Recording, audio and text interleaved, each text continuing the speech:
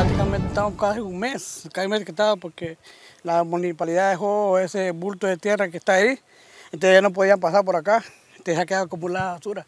Y muchos vecinos han, han quemado ahí, eso está, mal pues. Nosotros lo que queremos es que, que nos, nos escuchen pues, ¿verdad?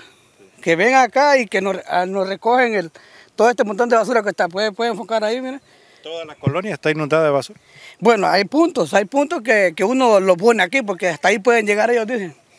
Bueno, vamos a consultar aquí entonces con más vecinos. Señor, usted también es afectado porque a pesar que está la cantidad de basura que da mal aspecto, el problema también es la cantidad de moscas y la contaminación. No, claro que sí, todos estamos aquí afectados porque eh, desde el año pasado, como en noviembre, está todo ese montón de basura y, y el camión de, de, que pasa aquí a recolectar la basura no, no puede entrar pues por este montón de tierra que hay ahí, pero es necesario que, que le pongan coto a esto porque eh, desde el año pasado está esto pues.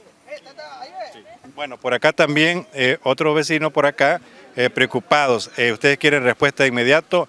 Eh, camión de la basura pasa cada cuánto?